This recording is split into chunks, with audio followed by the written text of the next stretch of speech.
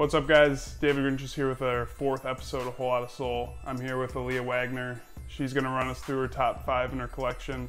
Come check it out.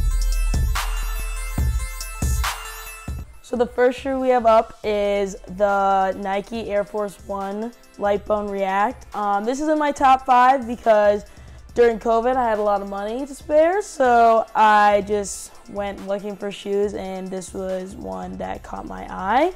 Next up, we have um, a Dunk Low, and it's like the Easter color one. And I just entered a raffle one day and won these, and that's another reason why they're on my top five. Next, we have um, Nike Blazer Lows, the Sacai. And I really like this because of the design. It's like double on each one, and you can like double laces and have white and gray. So that's another reason these are on my top five.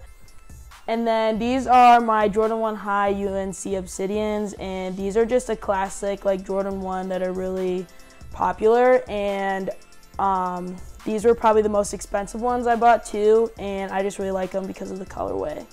And then next we have Jordan 1 Lows, and these are the Wolf Gray. So they're basically the Jordan 1 Low Dior's, just without the Dior. And um, I just really like the colorway. I'm a big fan of gray, and they're super cheap, so I picked these up. Is the Jordan 1 your favorite number Jordan? Um, I'm gonna say yeah. I like the lows better than the highs, just because it's more versatile with outfits, and the highs kind of look. You have to like style them a certain way. But I'd say my favorite type of shoe overall, out of like a streetwear shoe, is definitely the Dunks, just because I like the shape better and the fit more.